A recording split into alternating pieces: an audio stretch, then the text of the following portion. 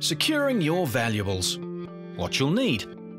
Blu Tack or Quake Wax. Both are available at your local hardware store. Move heavier items lower down. Secure with Blu Tack or Quake Wax.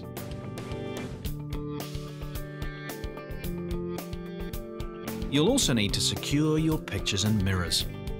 What you'll need. Standard picture hooks and a hammer and nails. All items are available at your local hardware store.